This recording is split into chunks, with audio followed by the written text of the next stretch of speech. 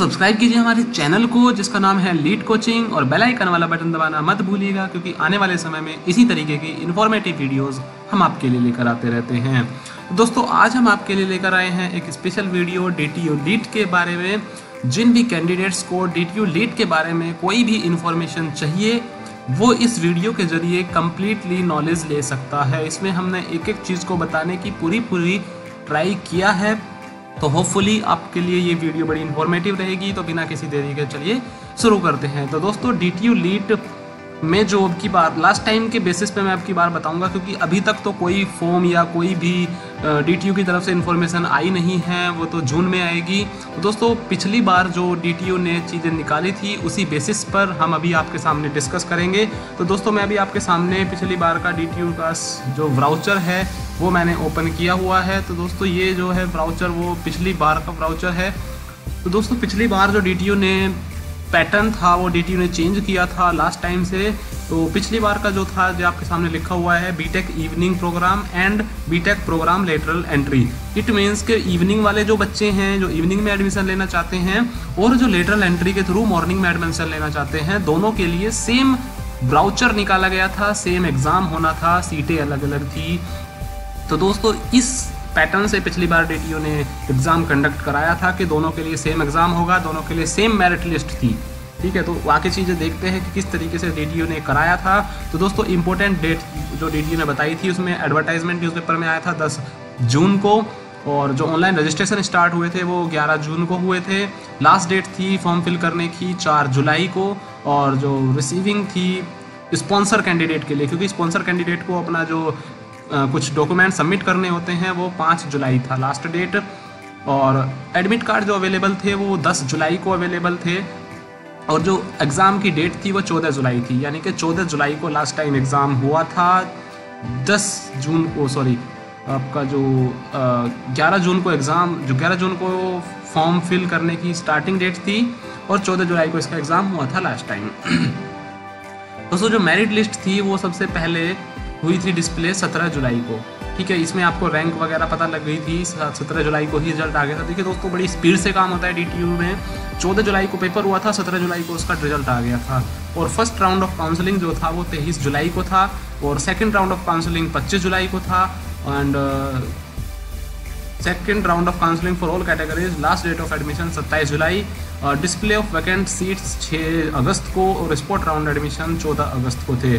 तो दोस्तों, ये पैटर्न पिछली बार का रहा था डीटीयू का और sponsored can sorry lateral entry वाले और इवनिंग वाले बच्चे दोनों के लिए यही एक पैटर्न था। दोनों के लिए सेम चीज़ें थी। तो दोस्तों, सोनों के लिए सेम पेपर था। और किस तरीके से पेपर था, ये इसमें देखिए मैसेज वगैरह दिए हुए हैं। और इसके बाद जो हम चीज़ें मेन हैं, उसी को लिए आपको लेकर आते हैं।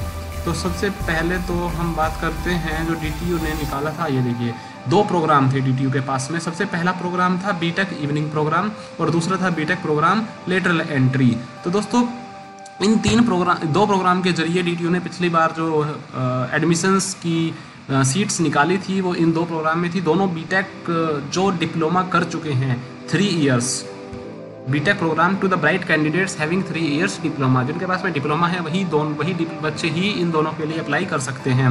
इवनिंग के लिए भी और लेटर एंट्री के लिए भी। तो सबसे पहले हम इवनिंग वाले के बारे में बात कर लेते हैं। तो दोस्तों इवनिंग में जो डी ने निकाला है, वो किस तरीके से निकाला है? दोस्तों, उसमें दो सौ चालीस सीटें हैं, चार ब्रांचेज में मतलब साठ साठ सीटें चार ब्रांचेज में अवेलेबल हैं। कौन सी चार ब्रांचों में? Civil engineering mechanical engineering electrical engineering and electronics and communication engineering तो इन चार ब्रांचों में साठ साठ सीटें अवेलेबल हैं 240 सीटें हैं। अब वो किस तरीके से शेड्यूल की गई हैं, दोस्तों, इसमें बताया हुआ है इवनिंग में जो क्लासें होती हैं, वो शाम को छः बजे से लेकर नौ बजे तक मंडे टू सैटरडे होती हैं। और अगर कभी भी ज़रूरत पड़ती है तो हॉलीडेज़ और संडेज़ को भी इंक्लूड कर लिया जाता है। तो दोस्तों, ये डी ने बताया हुआ है। और जो एडमिशन है बीटेक इवनिंग का, वो दो कैटेगरी में होता है, एक ओपन कैटेगरी एक स्पॉन्सर्ड कैटेगरी दोस्तों ओपन कैटेगरी उनके लिए है जो फ्रेशर हैं या कंपनी के थ्रू कोई भी ग्रेजुएशन नहीं करना चाहते। स्पॉन्सर्ड कैटेगरी में वो आते हैं जिनकी एजुकेशन जो है, जहाँ पर वो काम कर रहे हैं। डिप्लोमा के बाद जिस भी ऑर्गेनाइजेशन में या कंपनी में वो काम कर रहे हैं, वो उनकी एजुकेशन को स्पॉन्सर कर रही हो तो उस वो स्पॉन्सर्ड कैटेगरी में आते हैं। तो दोस्तों, जो आपकी 60 सीटें हैं, उन 60 सीटों में से एक ब्रांच में 60 सीटें डीटीयू ने रखी हैं। 60 सीटों में से 40 सीटें ओपन कैटेगरी के लिए हैं और 20 सीटें स्पॉन्सर कैटेगरी के लिए हैं। तो दोस्तों, इस तरीके से डी में एडमिशन में सीटें अलॉटेड हैं। उसके बाद ये सीट मैट्रिक्स आपके सामने गिवन है सिविल के लिए इलेक्ट्रिकल के लिए इलेक्ट्रॉनिक्स एंड कम्युनिकेशन के लिए और मैकेनिकल के लिए। तो ये ओपन कैटेगरी के लिए और स्पॉन्सर कैटेगरी के लिए सीटें यहाँ पे अवेलेबल हैं। आप इस सीट मैट्रिक्स को देख सकते हैं। तो इसके बाद आप सीट मैट्रिक्स देख लेंगे तो सभी साठ सीटों का डिवीज़न यहाँ पे आपको दिखाया हुआ है किस तरीके से, किसको लिए कितनी सीट अलॉटेड है। इसके बाद दोस्तों हम बात करते हैं, ये था हमारा पहला इवनिंग कैटेगरी का प्रोग्राम दोस्तों, इसके बाद बात करते हैं दूसरा जो प्रोग्राम था बीटेक प्रोग्राम लेटरल एंट्री के बारे में। तो दोस्तों इसमें क्या था? मॉर्निंग में जो सीटें बच जाती हैं, इन्होंने लिखा हुआ है सीधा सीधा कि अपडेशन अपग्रेडेशन के बाद 2017-18 के अपग्रेडेशन के बाद में जो सीटें बच गई हैं, जिस भी ब्रांच में सीटें बच गई हैं, वो निकाल दी गई हैं डिप्लोमा वालों के लेटरल एंट्री के लिए। तो दोस्तों, इसमें कौन कौन सी सीटें हैं? देखिए, दो चीज़ों में इन्होंने निकाला हुआ है। एक जो दिल्ली रीजन से हैं, एक आउटसाइड दिल्ली रीजन से हैं। दिल्ली रीजन में general S C S T O B C के लिए कितनी ब्रांचों में सीटें यहाँ पे इतनी अवेलेबल थी तो इसमें इन्होंने निकाला हुआ है। B T biotechnology E E electrical engineering E N E environmental engineering E P engineering physics PCT polymer PIE production and industrial engineering तो दोस्तों, इन ब्रांचेज में इसने अपनी बार सीटें निकाली थी। तो ये सीट मैट्रिक्स आपके सामने गिवन है दिल्ली रीजन वालों के लिए और ये नीचे जो गिवन है, ये है आउटसाइड दिल्ली वालों के लिए। तो दोस्तों, इस तरीके से इसने अपनी बार सीटें निकाली थी और इसके बाद में ये यहाँ पे दिया हुआ है, इसने सभी चीज़ें। दिल्ली रीजन कैंडिडेट का इसने मतलब बताया हुआ है कि जिन्होंने डिप्लोमा जो है वो दिल्ली से पास आउट किया है। आउटसाइड दिल्ली रीजन जिन्होंने डिप्लोमा है जो है वो आउटसाइड ऑफ़ दिल्ली से पास आउट किया है। भले ही वो कहीं पर भी रह रहे हों, लेकिन डिप्लोमा जहाँ से उन्होंने पास आउट किया है, वहीं का वो रीजन माना जाएगा। इसके बाद में एजुकेशन और क्वालिफिकेशन और एलिजिबिलिटी कंडीशन की बात करें एडमिशन के लिए तो दोस्तों उन दोनों के लिए सबसे पहले ओपन कैटेगरी की बात करूँ तो थ्री ईयर का डिप्लोमा होना चाहिए किसी भी ब्रांच में, और रिकोगनाइज होना चाहिए वो किसी भी टेक्निकल एजुकेशन के थ्रू या फिर टी ए आई के थ्रू और उसमें वर्क एक्सपीरियंस की कोई रिक्वायरमेंट नहीं है, लेकिन जो स्पॉन्सर कैटेगरी वाला है, उसमें आपके पास में थ्री ईयर रेगुलर डिप्लोमा होना चाहिए किसी भी ब्रांच में, और इसके साथ साथ आपको पाँच ईयर का एक्सपीरियंस भी होना चाहिए किसी रेपुटेड ऑर्गेनाइजेशन में, जो एन या दिल्ली में ही लाई करती हो एंड डी से पचास किलोमीटर के रेडियस पे हो। तो ये इसने बताया हुआ है स्पॉन्सर कैटेगरी के लिए। इसके बाद बात करें बीटेक लेटरल एंट्री प्रोग्राम के लिए। उसमें भी आपके पास में थ्री ईयर रेगुलर डिप्लोमा होना चाहिए किसी भी ब्रांच में और उसमें भी एक्सपीरियंस आपको रिक्वायर्ड नहीं है। तो दोस्तों, ये थी आपकी एजुकेशनल क्वालिफिकेशन क्या होनी चाहिए? और बात करें अगर हम एलिजिबिलिटी की तो दोस्तों, जो कंडीशन है पाँच ईयर एक्सपीरियंस की, वो डिटरमाइन की जाएगी फ़र्स्ट ऑफ़ सेप्टेम्बर 2018 तक। ठीक है? इसके बाद इसके अलावा जो है आपका जो डिप्लोमा है, उसमें एटलीस्ट 60 परसेंट मार्क्स होने चाहिए किसी भी, जो भी सीजीपीए है तो सीजीपीए में जो भी इंस्टीट्यूशन से प्रोवाइड करा जाएगा, उसके अकॉर्डिंग होगा। अगर इंस्टीट्यूट ने आपका प्रोवाइड नहीं कराया है सीजीपीए का पैटर्न तो इस ग्रेड के अकॉर्डिंग जो आपको दिया हुआ है टेबल में, आपकी ग्रेड सी जी परसेंटेज में कन्वर्ट करके देख लिया जाएगा। तो दोस्तों, ये था आपका पैटर्न किस तरीके से आपका होगा। और इसके बाद बात करते हैं रिजर्वेशन की। तो दोस्तों, ये जो टेबल दिया हुआ है टेबल नंबर फाइव इसमें जो दिया हुआ है आपको categories S C S T O B C जो हैं, उनके लिए कितना रिजर्वेशन यहाँ पर अवेलेबल है, वो दिया हुआ है, आप देख सकते हैं। इसके बाद अगर हम बात करें तो ये सब चीज़ें हैं। इसके बाद एडमिशन प्रोसेस एडमिशन प्रोसेस में सबसे पहले आपको ऑनलाइन फॉर्म फिल करना होगा, जो 6 जून से अवेलेबल था लास्ट टाइम और उसकी लास्ट डेट जो थी। वो 11 जो 11 जुलाई थी और 14 जुलाई को इसका एग्ज़ाम था 17 जुलाई को रिज़ल्ट आ गया था। उसके बाद में इसकी काउंसलिंग हुई थी। काउंसलिंग होने के बाद में एडमिशन हुआ था और जो आपका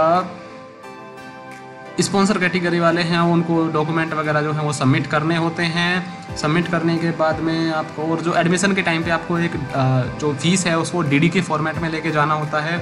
लास्ट टाइम का फ़ीस स्ट्रक्चर अभी हम देखेंगे क्या एप्लीकेशन फ़ी थी। हाँ रजिस्ट्रेशन के लिए जो एप्लीकेशन फ़ीस है, वो जनरल और ओबीसी के लिए एक हज़ार रुपये थी लास्ट टाइम और एस सी वालों के लिए, या पी कैंडिडेट्स के लिए वो फाइव हंड्रेड रुपीज़ थी। इसके बाद रूल्स फॉर सीट अलॉटमेंट ये आपका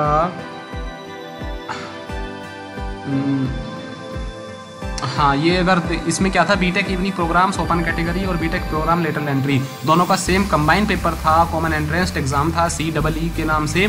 और अगर इसमें बाई चांस दो बच्चों की रैंक अगर सेम आ जाती है तो उसका जो डिसीज़न लिया जाता है, वो डिप्लोमा की मेरिट लिस्ट पे लिया जाता है, जिसके डिप्लोमा में ज़्यादा मार्क्स होंगे, उसकी रैंक पहले कंसीडर करी जाएगी, जिसके डिप्लोमा में कम मार्क्स होंगे, उसकी रैंक जो है वो बाद में कंसीडर करी जाएगी। तो इस तरीके से जो रूल्स थे और कॉमन एंट्रेंस एग्ज़ाम का डेट ये था टाइम ये था लास्ट टाइम दोस्तों, इसके अलावा ये जो है, अभी आरटीआई के थ्रू सिलेबस मांगा गया है और डी ने भी फिर अपनी वेबसाइट पर अपलोड कर दिया है। 2019 और 20 का जो सिलेबस है, वो यहाँ पर डी ने अपलोड कर दिया है।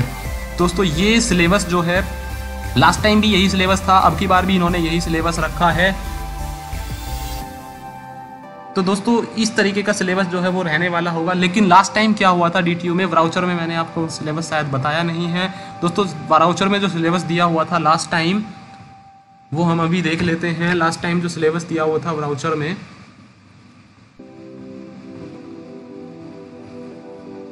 लास्ट टाइम का जो सिलेबस था, उन्होंने काफ़ी चीज़ें इन्होंने ये देखी इन्होंने यहाँ पे सिलेबस जो दिया हुआ है, उसमें काफ़ी कुछ चीज़ें यहाँ पे लिखी हुई है। मैथ्स से रिलेटेड एरियाज़ ज़्यादा इन्होंने लिखे हुए हैं। आप इसको देख सकते हैं आराम से। इन्होंने जो सिलेबस रखा हुआ है, उसमें मैथ्स रीजनिंग फिजिक्स केमिस्ट्री के कुछ टॉपिक्स भी इन्होंने लिखे हुए हैं। तो ये सिलेबस उन्होंने रखा था। Syllabus of common entrance examination physics इन्होंने दिया हुआ है। और इसके बाद फिजिक्स के बाद इन्होंने मैथ्स के टॉपिक लिखे हुए हैं। मैथ्स के टॉपिक इन्होंने लास्ट में रीजनिंग भी डाला हुआ है तो ये सब चीज़ें इन्होंने सिलेबस में डाली थी। लेकिन जब हम पेपर देने गए थे लास्ट टाइम तो उसमें क्या हुआ था? वहाँ पे केवल और केवल क्वांटिटेटिव एप्टीट्यूड और एडवांस मैथ के ही क्वेश्चन हमें देखने को मिले थे। टोटल सौ क्वेश्चन वहाँ पर आए थे, वो सारे क्वेश्चन वहाँ पर मैथ्स के थे। तो दोस्तों, कोई भरोसा नहीं है डी के सिलेबस का। तो अभी जो डी ने सिलेबस डाला है, हो सकता है अब की बार इसने पहले ही सिलेबस डाल दिया है, अब की बार सिलेबस यही आए। तो दोस्तों, ये सिलेबस इसने अब की बार अपनी वेबसाइट पर अपलोड कर दिया है। आप इसके थ्रू गो थ्रू हो जाए एक बार। ये सिलेबस इसने अब के बाद डाला है। शायद यही ये सिलेबस आने वाला होगा। इसी से रिलेटेड पेपर आएगा। तो दोस्तों, मैथ्स का पेपर आने की संभावना बहुत ज़्यादा होती है। टोटल ये सिलेबस भी मेरे को मैथ्स वाला ही लग रहा है। तो आप इसके थ्रू एक बार गो थ्रू हो जाइए। तो दोस्तों, और इसके बाद हम बात करें अगर ये फ़र्स्ट राउंड सेकंड राउंड में दिया हुआ है डिटेल्स ये आप देख सकते हैं। इसके बाद फ़ीस स्ट्रक्चर की बात करते हैं दोस्तों। तो फ़ीस स्ट्रक्चर में जो इवनिंग का प्रोग्राम था, उसमें इन्होंने फ़ीस स्ट्रक्चर को डिवाइड किया हुआ है। अलग अलग पार्ट्स में हम टोटल पे जाके देखते हैं। टोटल में जो सबसे फ़र्स्ट ईयर की फ़ीस थी, वो एक लाख अठारह हज़ार थी। अब की बार बढ़ जाएगी। सेकेंड ईयर की फ़ीस एक लाख तीस हज़ार पाँच सौ थर्ड ईयर एक लाख चालीस हज़ार एंड फोर्थ ईयर एक लाख अड़तालीस हज़ार पाँच सौ। ये फ़ीस स्ट्रक्चर था। इवनिंग प्रोग्राम के लिए लेटर एंट्री प्रोग्राम के लिए फ़ीस स्ट्रक्चर जो था, वो था सेकेंड ईयर में एक लाख इक्यावन हज़ार थर्ड ईयर में एक लाख छियासठ हज़ार एंड लास्ट ईयर में एक लाख नब्बे हज़ार रुपये। ये था आपका fees structure program lateral entry वालों के लिए। इसके अलावा इन्होंने फ़ी कंसेशन के लिए बताया हुआ है, जो इकोनॉमिकली वीकर सेक्शन से बिलोंग करते हैं, उनके लिए बाद में फ़ीस कंसेशन भी अवेलेबल कराया जाता है। जिनकी एनुअल इनकम चार लाख पचास हज़ार से कम है, वो फ़ी कंसेशन के लिए अप्लाई कर सकते हैं। विड्रॉल रिफंड पॉलिसी अगर आपको एडमिशन ले चुके हैं और आपको एडमिशन कैंसिल कराना है तो पंद्रह दिनों के अंदर अंदर अगर आप एडमिशन कैंसिल करा लेते हैं तो हंड्रेड परसेंट रिफंड आपको हो जाएगा। पंद्रह दिन के बाद और एक महीने से पहले कराते हैं तो आपको एट्टी परसेंट होगा। एक महीने और पंद्रह not more than 15 days after the formally notified date of date of admission तो 80 परसेंट होगा more than 50 days but less than 30 days तो 50 परसेंट रिफंड होगा, और 30 दिन के बाद में कोई रिफंड नहीं होता है। दोस्तों, इसके बाद अगर हम बात करें डॉक्यूमेंट्स रिक्वायर्ड की तो डॉक्यूमेंट्स में आपको सबसे पहले तो जो एडमिशन के टाइम पे लेके जाना है, वो एक लाख अठारह हज़ार रुपये का डी लेकर जाना है। किसके फेवर में बनवाना है? रजिस्ट्रान दिल्ली टेक्नोलॉजिकल यूनिवर्सिटी के फेवर में बनाना है पेबल एट न्यू दिल्ली आपकी सभी मार्कशीट लेकर जानी है, डिप्लोमा की सर्टिफिकेट लेकर जाना है एस सी अगर आप ओ या डिसेबिलिटी आपके पास है तो उसका सर्टिफिकेट आपको ले जाना है। किसके अकॉर्डिंग नीचे जो इसी ब्राउचर में एन एक्सर थ्री करके दिया हुआ है, उसके अकॉर्डिंग लेके जाना था।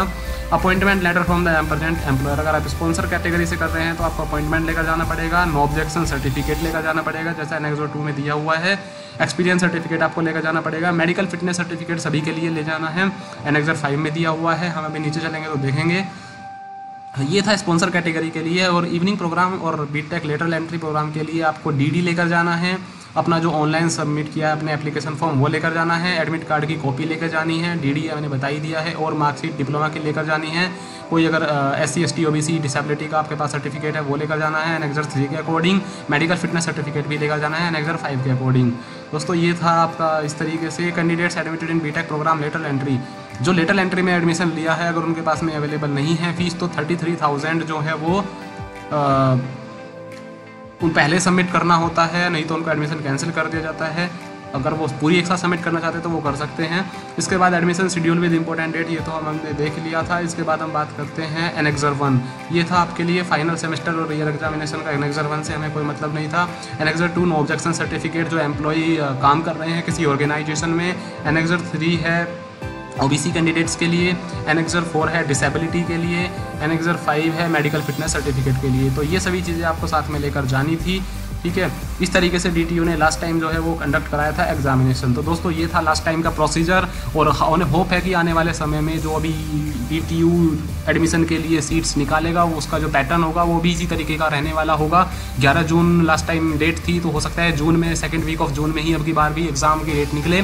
दोस्तों बीटेक इवनिंग में जो कैंडिडेट एडमिशन लेना चाहते हैं, उनके लिए मैं कुछ बता देना चाहता हूँ। देखिए दोस्तों, क्या होता है अभी डीटीयू इवनिंग में? रेगुलर क्लासेज होती हैं मंडे टू सैटरडे शाम को छः बजे से नौ बजे तक क्लासेज का टाइम होता है। दोस्तों, जब भी हम अभी क्या चल रहा है, वहाँ पर मैं आपको करंट स्टेटस बताता हूँ। एक्चुअल स्टेटस क्या है दोस्तों? सभी जो डी इवनिंग के कैंडिडेट्स अभी वहाँ पर अवेलेबल हैं। उन्होंने कोर्ट में एक केस किया है डी के अगेंस्ट जाकर कि डी ने हमें धोखा दिया है। एक तरीके से बोलकर कि ये जो इवनिंग प्रोग्राम है, ये रेगुलर प्रोग्राम है फुल टाइम प्रोग्राम है डेली क्लासेस हो रही हैं, सब कुछ ये लोग कर रहे हैं बट इनकी जो डिग्री है वो पार्ट टाइम है और कहीं वैलिड नहीं है। किसी भी चीज़ से अप्रूव नहीं है। तो इस चीज़ को लेकर इन्होंने केस किया है। क्या चलता है आगे, क्या होता है, कुछ पता नहीं है। अभी तो कुछ नहीं कह सकते। लेकिन वाइस चांसलर ने जो बोला है कि डिग्री सभी जगह वैलिड है डिग्री रेगुलर है, लेकिन फुल टाइम नहीं है, ऐसा ये लोग बोल रहे हैं। रेगुलर है, फुल टाइम नहीं है, इसका मीनिंग क्या समझ आता है, वो तो हम भी नहीं कह सकते। क्योंकि रेगुलर है तो फुल टाइम होता ही होता है। रेगुलर नहीं रेगुलर और पार्ट टाइम का तो कोई मतलब ही नहीं बनता। ये बोलते हैं कि रेगुलर है लेकिन पार्ट टाइम है। रेगुलर है लेकिन फुल टाइम नहीं है। इस तरीके का ये जो रीज़न दे रहे हैं। कोर्ट में केस चल रहा है। देखते हैं क्या होता है। तो दोस्तों, मैं सजेस्ट करूँगा इवनिंग कैंडिडेट जो इवनिंग में एडमिशन लेने जाने वाले हैं या एडमिशन लेने की सोच रहे हैं, जिनके पास में अभी जॉब है या जिनकी प्लेसमेंट हो चुकी है डिप्लोमा में वो ही सोचें इवनिंग में जाने के लिए, क्योंकि अभी ऐसा कोई कन्फर्मेशन नहीं आया है कि आपको डिग्री फुल टाइम मिलेगी। दोस्तों part time degree fresher candidate के लिए कहीं भी वैलिड नहीं है, ये भी आप जानते हैं। इस, मेरे से बेटर जानते होंगे। तो दोस्तों, अगर आपके पास में जॉब है, तभी आप इसके लिए आगे प्रोसीड करें। लेटर एंट्री में अगर आपको एडमिशन मिलता है तो बहुत ही, बहुत अच्छी बात है, क्योंकि उससे अच्छा तो कोई ऑप्शन हो ही नहीं सकता। लेकिन इवनिंग प्रोग्राम में अभी कोई यू कैन से कन्फर्मेशन नहीं है कि आपको डिग्री जो है वो आपको वैलिड मिलेगी, क्योंकि पार्ट टाइम डिग्री आज के टाइम में फ्रेशर कैंडिडेट के लिए कोई मायने नहीं रखती है, कोई नहीं पूछता है। और कहीं भी आप बैठने लायक नहीं होते हो, कोई भी एग्ज़ाम में पी नहीं लेती हैं गवर्नमेंट एग्ज़ाम नहीं गेट में आप नहीं बैठ सकते हो ऐसा होता है। तो पार्ट टाइम के लिए तो गवर्नमेंट ने भी इसको हटा दिया है कि टेक्निकल डिग्री जो है वो पार्ट टाइम वाली नहीं चलेगी। तो इवनिंग में जो लेने वाले हैं एडमिशन वो इस चीज़ को सोचकर आगे प्रोसीड करें।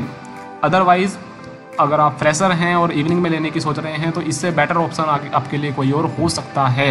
ये बेटर ऑप्शन नहीं होगा अकॉर्डिंग टू अस तो दोस्तों, इस चीज़ को ध्यान में रखते हुए आप अपने फ्यूचर को डिसाइड करें, अपने करियर को डिसाइड करें। And all the best from our side इसके अलावा, हम अभी एक सीरीज़ लेकर आने वाले हैं। रीजनिंग और क्वान्टिटेटिव एप्टीट्यूड के लिए तो उसके लिए वेट करें। दोस्तों वो भी हम अभी वीडियोस डालना स्टार्ट कर देंगे उन कैंडिडेट्स के लिए जो ऑनलाइन पढ़ना चाहते हैं। तो, तो ये था आज हमारा जो डीटीयू के हम पर हमने वीडियो बनाई। इसके अलावा ये हमारे जीनियस कोचिंग सेंटर की वेबसाइट है लीड कोचिंग डॉट कॉम नाम से। कोई भी जानकारी आपको चाहिए तो आप यहाँ पर विज़िट कर सकते हैं। Everything is available here about us जो भी चीज़ आप पूछोगे यहाँ पर आपको अवेलेबल होगी। हर चीज़ आपको यहाँ पर मिलेगी। आप नहीं मिलती है तो हमें यहाँ पे आप चैट पे पूछ सकते हैं कमेंट में पूछ सकते हैं, कुछ भी। तो ये थी आज की हमारी वीडियो डी टी लीट के लिए डी टी लीट कैंडिडेट्स के लिए। इवनिंग में जाना चाहते हो या लेटर एंट्री में जाना चाहते हो so all the best for your exam for every lead which you are giving thank you so much